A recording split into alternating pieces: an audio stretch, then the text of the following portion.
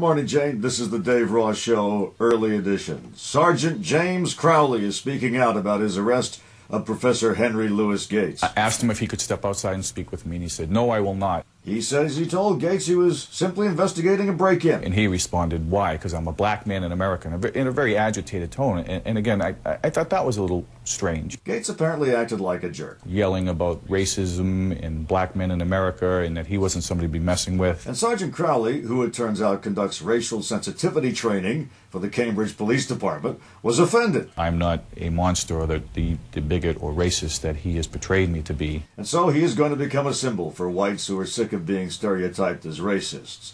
But is this really about race? Cop gets report of break-in, finds out it's just the homeowner unjamming a door. Homeowner, instead of thanking the officer, behaves like a jerk, calls him a racist, gets arrested.